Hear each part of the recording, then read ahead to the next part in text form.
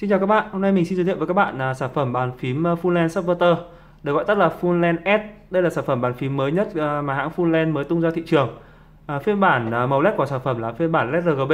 Đây cũng là mẫu phím LED RGB đầu tiên và duy nhất ở thời điểm hiện tại của hãng Full À, trước đó thì chúng ta rất hay quen sử dụng hai mã bàn phím là Full D và Full E thì chúng cũng chỉ là LED 7 màu mà thôi.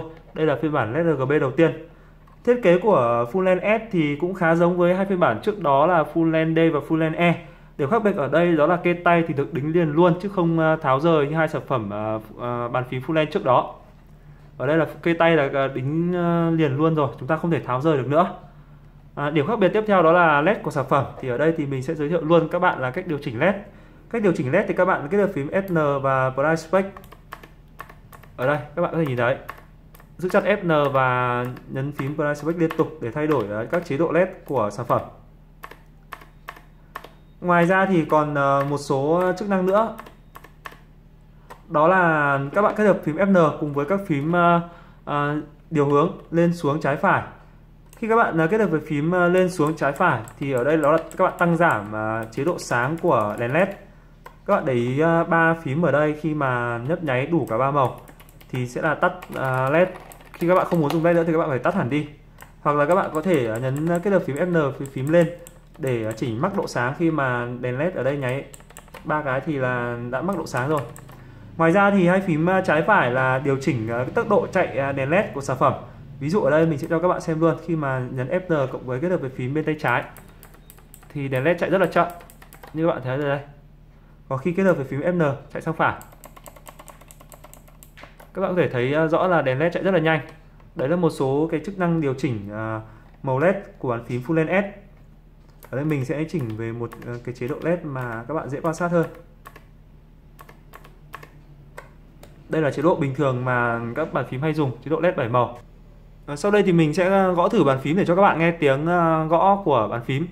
Bàn phím full led S thì có tiếng gõ khá là kêu giống với phiên bản uh, Blue Switch nên các bạn có thể coi uh, phiên bản này là uh, phiên bản uh, Blue Switch giống như các loại uh, Switch uh, nổi tiếng trên thị trường như Switch Cherry cũng được.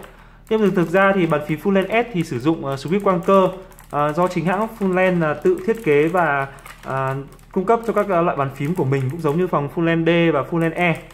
Switch uh, quang cơ này thì có màu là màu đen các bạn nhé. Thì uh, chúng ta do tiếng gõ click khá là to nên chúng ta có thể uh, coi nó là phiên bản uh, Blue Switch uh, giống với trên thị trường còn thì thiết kế mạch ở ở dưới là quang cơ. Cái phần quang cơ này thì ờ, sẽ đảm bảo cho độ bền độ bền của speaker được cao hơn cũng như tốc độ ờ, nhận ờ, khi các bạn gõ được nhanh hơn rất là nhiều bởi vì công nghệ công nghệ quang. Đây, các bạn có thể nghe rõ tiếng gõ khi mình thử. Còn đây là màu của switch là màu đen. Chúng ta có thể ngầm hiểu là phiên, giống với phiên bản blue switch cũng được. Đèn led thì khá là sáng, đèn led thì nằm phía trên của switch đây thì mình sẽ ờ, đóng ờ, cái cái keycap lại. Với cái switch này thì các bạn có thể thay thế các loại keycap trên thị trường thoải mái. Các bạn có thể mua các keycap ờ, lẻ rời ở ngoài để thay. Còn đây là keycap của sản phẩm được thiết kế hai lớp double shot khá là chắc chắn khá là mịn và sờ không có cấn và cũng không bị bám dấu vân tay. Thiết kế rất là chắc chắn.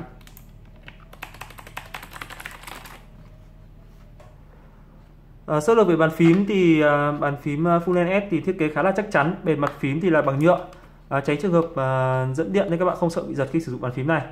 Ở xung quanh viền thì à, có cả giải led RGB chạy à, dọc à, xung quanh phím. Các bạn thể thấy đây, phía trên. Ở xung quanh thì cũng có hiệu ứng led RGB. Bàn phím thì cầm khá là nặng, nhìn thì khá là bắt mắt với các đường nét à, vân hầm hố. Ở mặt sau mặt sau của phím thì à, ở đây có hai nẫy để kê cao bàn phím nếu như các bạn à, cần. Một số thông tin về bàn phím. Tem bảo hành tem chính hãng tem chống hàng giả được hãng à, Ninja dán ở mặt sau của bàn phím. Các bạn có thể kiểm tra đầy đủ ba tem này thì là sản phẩm chính hãng. Ngoài ra có một số thông số như là model uh, subverter sRGB cũng như là dòng điện sử dụng.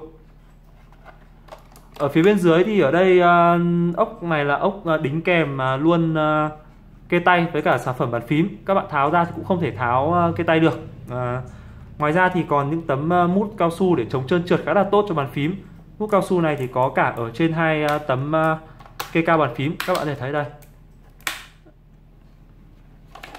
Bàn phím thì cầm khá là chắc chắn và nặng tay.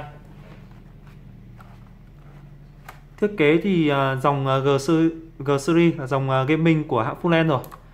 Nếu như các bạn thấy biểu tượng này thì ờ, đều là các sản phẩm ờ, gaming chính hãng từ hãng ờ, fullen Sản phẩm bàn phím fullen S thì đang được phân phối chính hãng tại M8 Computer. Các bạn có thể tham khảo giá bán lẻ tại website m8computer.com. Cảm ơn các bạn đã theo dõi video.